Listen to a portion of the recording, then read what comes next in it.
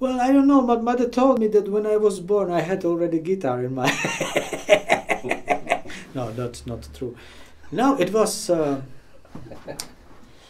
it was not very hard, you know, not very hard because my father he loved always this, you know. Bra. So since I was child, you know, and my father was listening the Mexican movies, and there was somebody playing this interval.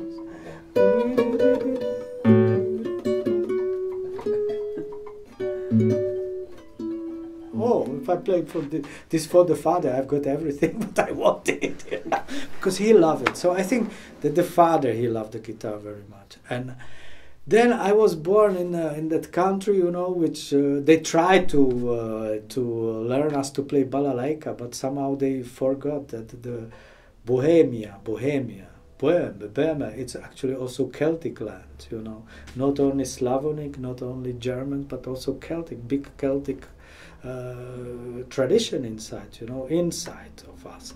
Yeah, so the guitar we loved to play the folk music, you know, and Irish music, American music, you know, this bluegrass and so country, you know, and of course there was also the tradition coming from Vienna already in the 19th century. That's Matejka, for instance. Uh, Matejka was Czech, you know, and a lot of the players like Giuliani, they played in uh, in Vienna, of course, but they came also to Prague to play there. It's not so far, you know. And so, but I think the most popular, most important was that the guitar was for me kind of the something what has to do with the freedom.